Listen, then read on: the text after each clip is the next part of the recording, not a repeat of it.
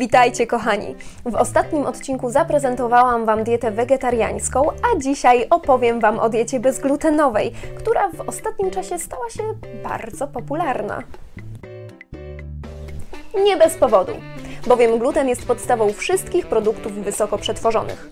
No dobrze, ale zacznijmy od początku. Czym w ogóle jest ten gluten? To białko obecne w niektórych gatunkach zbóż, takich jak pszenica, owiec, orkisz, żyto, kamut i jęczmień. Jego właściwości odżywcze są niewielkie. Za to wpływa pozytywnie na procesy technologiczne związane z obróbką mąki. W jaki sposób? Podczas wyrabiania ciasta z mąki zawarty w niej gluten tworzy z wodą strukturę przestrzenną, która nadaje ciastu elastyczną konsystencję. Właśnie z tego powodu zboża o wysokiej zawartości glutenu są o wiele chętniej wykorzystywane w przemyśle spożywczym.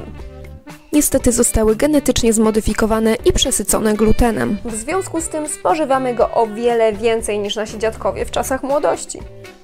Problem potencjalnie niebezpiecznego dla zdrowia glutenu pojawił się około 5 dekad temu, gdy rozpoczęto pracę nad modyfikowaną genetycznie pszenicą. Od tamtej pory w zachodnim społeczeństwie pojawiły się takie dolegliwości jak celiakia czy choroba Duringa, a także inne negatywne reakcje organizmu na gluten.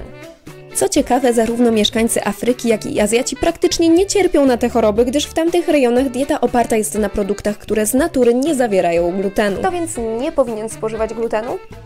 Na pewno osoby chore na celiakię, na chorobę Duringa, osoby, które mają alergię na gluten i osoby z nadwrażliwością na gluten.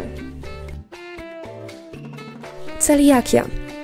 Celiakia to choroba autoimmunologiczna. Jest genetycznie uwarunkowaną trwałą nietolerancją glutenu ze strony układu odpornościowego. Osoby, które cierpią na tę chorobę, muszą całkowicie zrezygnować z glutenu, ponieważ spożycie nawet małej jego ilości prowadzi u chorych do chronicznego zapalenia i zanikania kosmku jelita cienkiego. To uniemożliwia prawidłowe wchłanianie składników odżywczych z pokarmów i może prowadzić do poważnych konsekwencji zdrowotnych. Mianem celiaki skórnej nazywana jest choroba Duringa, gdzie u chorych, którzy spożywają gluten, zauważalne są jedynie negatywne zmiany skórne. Alergia.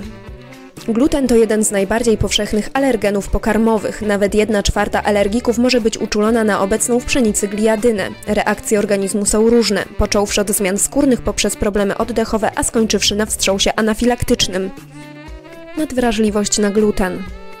Przy tym problemie organizm reaguje na spożycie glutenu po upływie kilku godzin, a czasem nawet kilkunastu dni.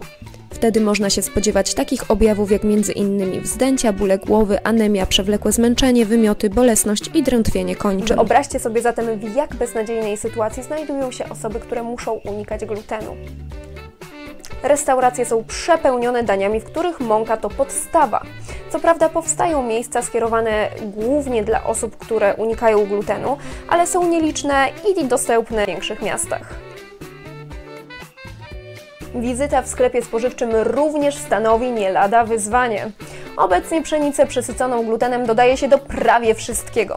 Co więcej, ma właściwości uzależniające, dzięki czemu klienci chętnie, regularnie wracają do sklepu po te same produkty, tak jak palacze po papierosy. Pszenicy używa się m.in. jako zagęszczacza i wypełniacza, ponieważ jest tania i powszechnie dostępna. Zawiera szkodliwe i uzależniające składniki, w tym właśnie przekształcony gluten. Możemy o tym przeczytać w publikacji doktora Williama Davisa Dieta bez pszenicy. Dowiemy się z niej, że skrobia pszeniczna zawiera amelopektynę, węglowodan, który szybko podnosi poziom glukozy we krwi, czy gliadynę, która wywołuje napady głodu i silnie uzależnia. To dzięki niej odczuwamy euforię zajadając się klasycznymi produktami pszenicznymi.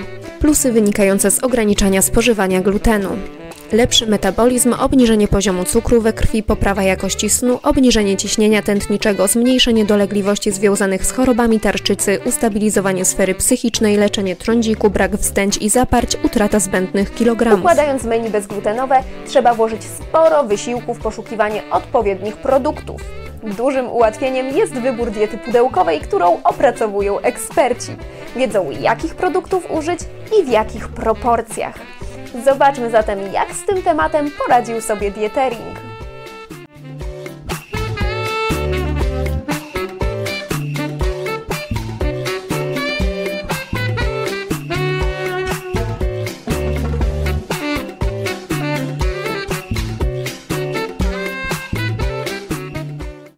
Miło mi, że dotrwaliście ze mną do końca i od razu zapraszam Was na kolejny odcinek, w którym poruszę temat diety ketogenicznej.